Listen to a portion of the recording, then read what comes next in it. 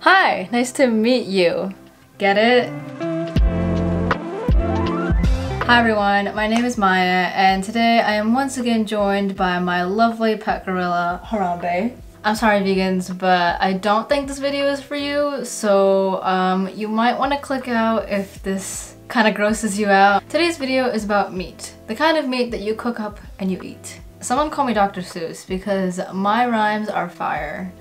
Oh god. Anyways, so I decided to take it upon myself to answer the question, did meat make us human? Carnivores and touters of the paleo diet will say that meat is the only thing you need to include in your diet. Protein, protein, protein. You know, to get back to our roots, we have to eat like our carnivorous ancestors, just kind of ingesting and inhaling meat at every opportunity we get because meat is what made us human, right? So let's dive into the research together to see if meat really changed our brains forever. So the crux of the question, does meat make us human, goes down to our brains. Humans have a very large brain for their body size, especially compared to our primate relatives. Humans have a brain size around 4.6 times greater than the brain of an average mammal. Our large brains are also very expensive to keep up and maintain. Our brain constantly requires a lot of energy from the food that we eat to maintain its function on a day-to-day -day basis. And this ties into basal metabolic rate, the amount of calories you burn burn as your body is performing daily functions. And what researchers have found is that even though our brains are huge, our basal metabolic rate is the same, which doesn't make any sense if you think about it, because if we have huge brains, we need to be consuming a lot of good high quality food to sustain that expensive tissue. And that brings me to a question. How did humans manage to sustain this increased brain size without a subsequent increase in their basal metabolic rate? So to answer that question, I think we need to do a little deep dive into our history. So our closest primate ancestors, gorillas and orangutans, actually don't eat meat at all. Gorillas and orangutans are primarily frugivorous and folivorous, meaning that 99% of their diet is fruits or leaves. And if we even go back all the way to fossil apes 15 million years ago, we see that their teeth look like the teeth of a mammal that ate fruits and leaves, not an animal that ate meat. In fact, most primates don't usually eat meat because they're hard to procure, uh, they're not easy to find, and they're often rare. So how and why did this change? When did we go from a lineage of herbivorous omnivores and vegetarians to carnivores essentially? And how did we do this? That brings me to something called the expensive brain hypothesis. A hypothesis put forth by researchers in the 1990s to try to get at and understand where the increase in human brain size comes from and tries to offset it by explaining how it could be due to the decrease or shortening of other organs in our body. So this hypothesis argues that our brains got relatively larger because our guts actually got relatively smaller, saying that the incorporation of animal foods and meat into our diet was essential because these higher quality foods required less time to digest by our smaller gut and were higher in essential nutrients like vitamin B3,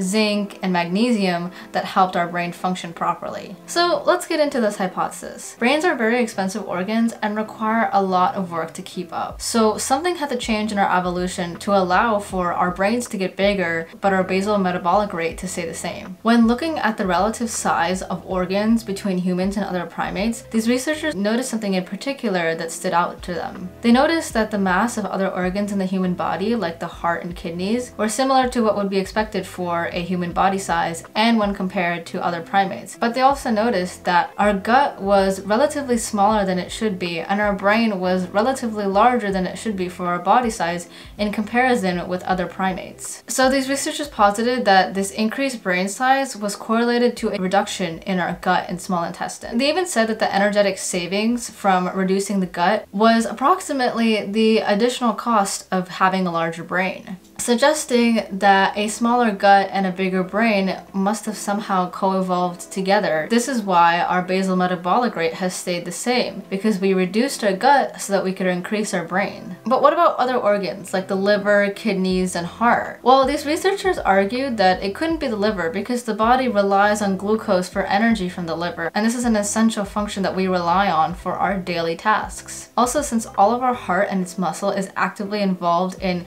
contracting and pumping oxygen-rich blood to the rest of our body and draining it once it comes back, it's pretty hard to believe that any reduction in the size of the heart would actually lead to anything substantially good happening because we pretty much need all of our heart to function regularly. And lastly, a change in our kidneys would have probably not helped us because a decrease in our kidneys would have probably led to more excessive and dilute urine, which would not have been good for early humans living in dry savanna environments where they actually needed to preserve their water so that they didn't die of dehydration. Therefore, they argued that it had to be the gut because if humans started eating high quality food, you wouldn't need this whole small intestine and large intestine cecum. These foods could be easily digestible, requiring less effort and energy expenditure by the gut, allowing for a subsequent increase in brain size. And we've even noticed trends between mammals that eat low quality foods like fruit and leaves and high quality foods like meat, tubers, and nuts. And by low quality and high quality,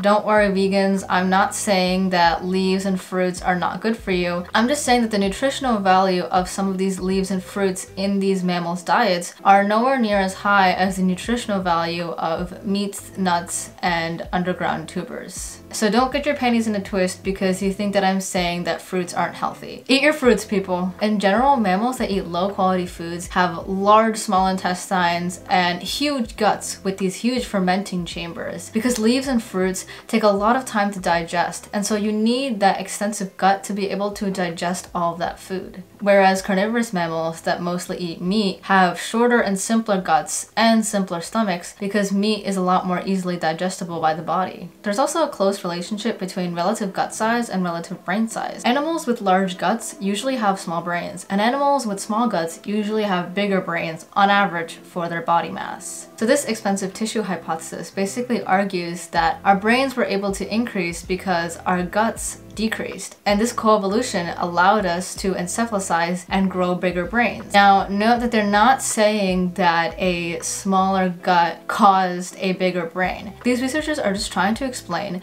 one of the many factors as to why we have such a big brain for our body size and why our basal metabolic rate hasn't increased because of that. So what does this mean about our evolution? Over the past 4 million years, our brain size has increased from 400 to 500 cc in Australopithecines to 1400 cc in modern humans today. This hypothesis suggests that the incorporation of high quality foods like meat led to us getting bigger brains. And note for you fellow meat eaters, that doesn't mean that we were only eating meat, it just means that we were omnivorous, eating a mixture of fruits, leaves, and vegetables. Meat also requires less force to chew, which could have resulted in a more horizontally shrunken face. While we see these very horizontally projecting faces in chimpanzees and orangutans and gorillas that have big bigger molars and larger incisors, we have pretty tiny insignificant teeth and canines that are, let's face it, pretty unimpressive. And so if meat requires less force to chew and less masticatory effort, then that could explain why our faces have shrunk in size and why our dentition have also grown smaller. So in summary, basically the incorporation of meat alongside the incorporation of fruits and vegetables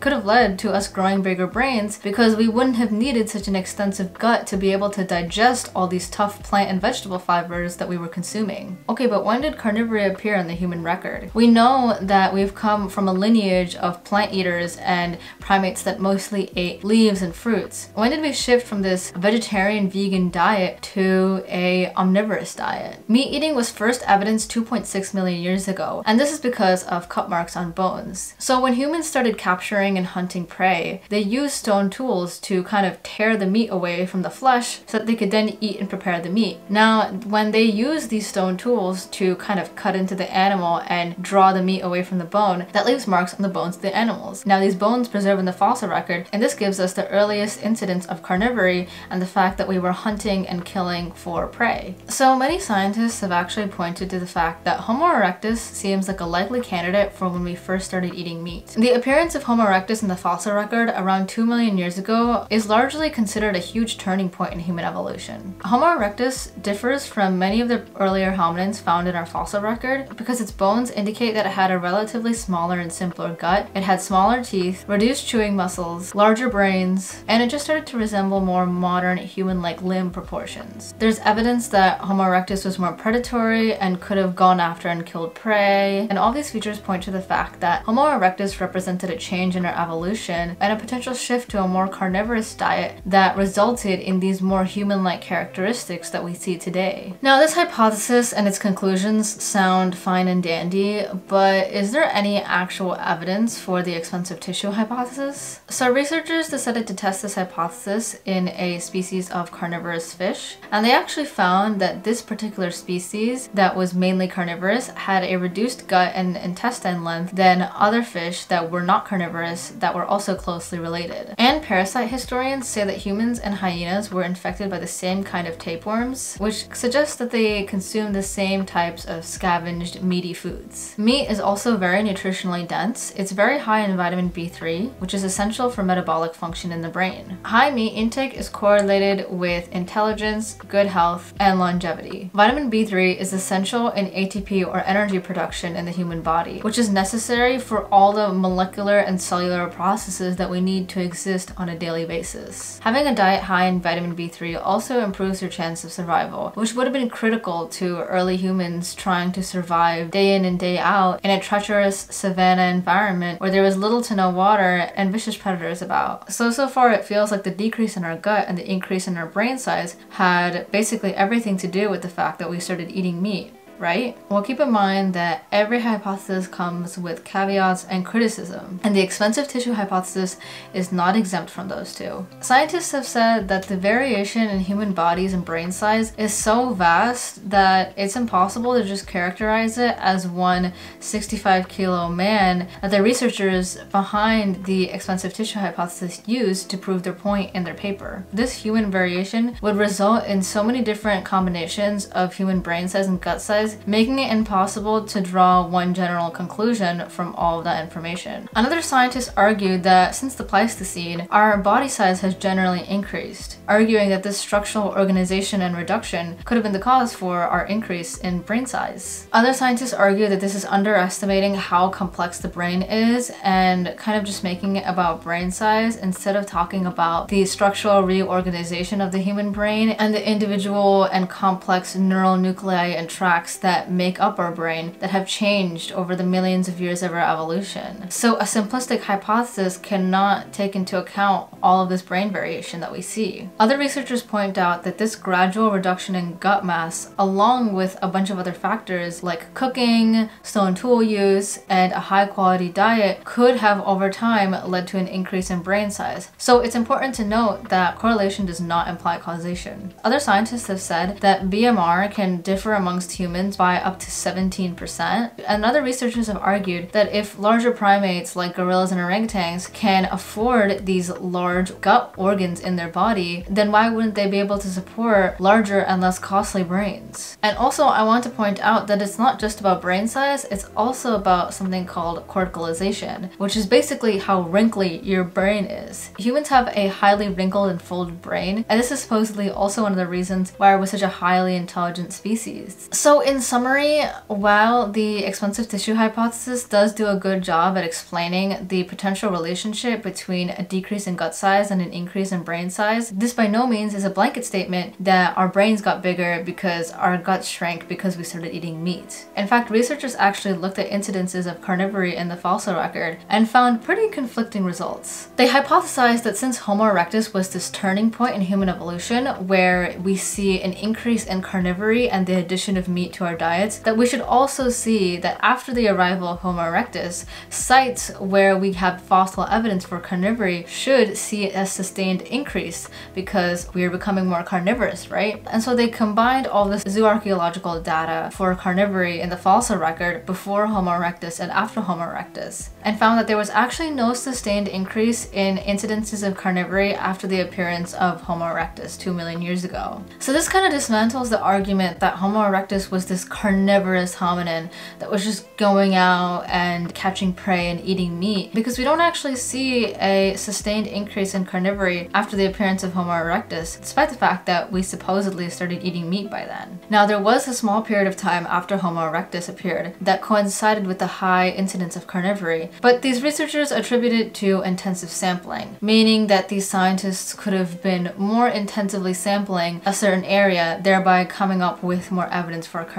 Now, personally, I'm not sure if I buy this explanation, but I decided I would just present all the information to you so that you yourself can decide, as well as always provide my references that I use for every video in the description so that you can decide what you believe. So this expensive tissue hypothesis seems to, at first glance, neatly tie everything together in terms of explaining why our brains are so big. But at a further look, it actually really doesn't take into account human variation, primate variation, differences in basal metabolic rate and body size, other factors that could have led to a bigger brain size, as well as the fact that early hominins, specifically Homo erectus, maybe weren't nearly as carnivorous as we actually thought. So let's go back to our original question. Did meat make us human? Did it permanently change our brains forever and lead to this massive increase in brain size, resulting in us becoming the superior apex species, allowing us to take over the entire world? Now, what do I think? Well, first of all, thank you for asking me. It's complicated. I think that the incorporation of meat into our already vegetarian diet definitely helped us because no one can deny that meat is very high in quality nutrients that nourish our brain and are easily digestible, which would make sense given our reduction in gut size over the course of our evolution. I think incorporating small quantities of meat along with a herbaceous diet definitely helped us, but by no means do I think it's what made us human, and by no means do I think that it is the sole reason as to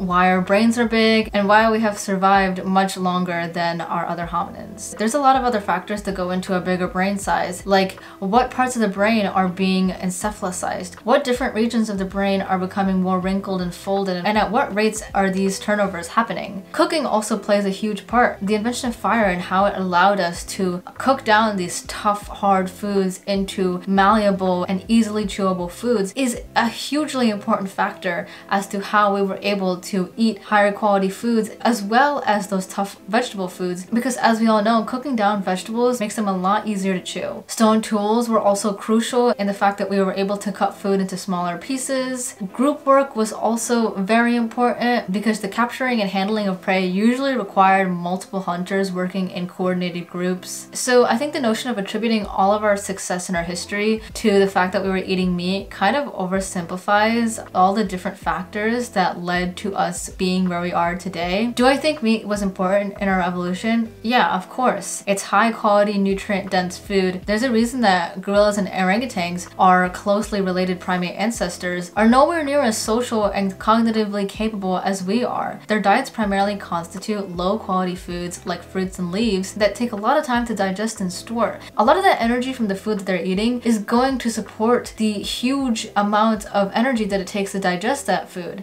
And as a result, this could have been one of the reasons why they weren't able to develop a larger, more encephalized brain like humans and to a certain extent chimpanzees. In conclusion, while I do think that meat played an important part in our evolution and was potentially one of the factors that led to our bigger brains, I definitely don't think it's the only factor. I think it's one of many factors like cooking, tool use, group work, grandmothers that made us into the species that we are today. So meat eaters, you can rejoice in the fact that yeah, meat probably had a role to play in our evolution. But vegans and vegetarians, you can also be comfortable with the fact that as long as you're consuming a diet in which you're getting most of your nutrients and vitamins from the plants and vegetables and nuts that you're eating, you're probably fine. And you don't need to incorporate meat in your diet if that's not something you want to do. So at the end of the day, eat whatever you want and what makes you feel good. Because let's face it, it's not like we're facing the threat of lions, saber-toothed tigers, and woolly mammoths anymore. The biggest threat or anxiety that you've probably had to deal with all week is not handing something in before the deadline or forgetting to do a homework or assignment. You'll be just fine. But anyways, I hope that answers the question for any of you